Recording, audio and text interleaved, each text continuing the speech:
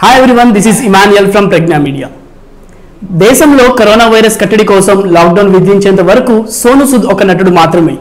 కానీ అమ్మ చెప్పిన మాటని పాటించి ముద్దుల తనయుడుగా ఆపదలో ఆదుకున్న రియల్ హీరోగా ప్రజల గుండెలో నిలిచిపోయాడు. సోను సూద్ తను చేయాలనుకున్న సేవలకు రాజకీయ రంగులు అద్దకుండా నిష్పక్షపాతంగా కుల మత వర్గ భేదాల ప్రసక్తి తలెత్తకుండా అందరినీ ఆకట్టుకున్నారు. సోను సూద్ చేస్తున్న సాయంపై వస్తున్న వార్తలను వినకుండా తన పని తాను చేసుకుంటూ వెళ్తున్నారు. ఇంకా చెప్పాలంటే సాయం చేయడానికి ఉండాల్సింది డబ్బు మాత్రమే కాదు అంతకంటే మనిషి కష్టంలో ఉన్నప్పుడు స్పందించే మనసుని నిరూపించారు. కష్టాల్లో ఉన్న బాధితులకు అండగా నిలుస్తూ రియల్ హీరో అయ్యారు ఈ వెండితెర విలన్. పలు చిత్రాల్లో నటించి పేరు ప్రఖ్యాతులు తెచ్చుకున్నారు. అరుంధతి చిత్రంతో సోను సూద్ పోషించిన పశుపతి పాత్ర తెలుగు ప్రేక్షకులకు ఇంకా బాగా గుర్తుంది. పశుపతి పాత్రకు తను జీవం పోశాడు. తెలుగులో అరుంధతి చిత్రానికి ఉత్తమ ప్రతినాయకునిగా నంది పురస్కారాన్ని అందుకున్నాడు. తెలుగులోనే కాదు తమిళం కన్నడ హిందీ భాషల్లో నటించారు. తనకి బాలీవుడ్ సినిమాలో నటించాలని కోరిక ఎక్కువగా ఉండేది.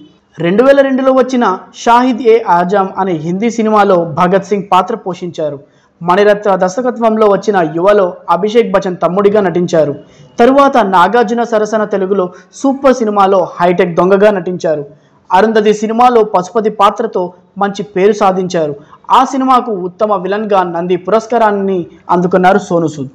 రెండు వేల ఇరవై నుండి మొదలైన ఈ దాతృత్వం ఇప్పటికే కొనసాగుతూనే ఉంది. తాము బాధల్లో ఉన్నాం సాయం అందించండి అంటూ అడిగిన వారికి ఎంతో మందిని ఆదుకున్నారు. కష్టాల్లో ఉన్న అతని సాయం అడగని వారికి కూడా సాయం చేస్తూ అండగా ఉన్నారు. ఏ స్టార్ హీరోకి దక్కనంత క్రేజ్ సోను సూద్ సొంతం చేసుకున్నారు? దేశంలో సోను సూద్ ఎక్కడ ఏ ప్రాంతానికి వెళ్తే అక్కడ ఆ ప్రాంత ప్రజలు బ్రహ్మరథం పడుతున్నారు?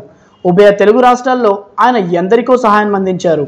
కరోనా కష్టకాలంలో ఆక్సిజన్ సప్లైని మరింత మెరుగుపరిచేందుకు నెల్లూరుకు ఆక్సిజన్ ప్లాంట్ అందించిన ఘనత ఆయనదే.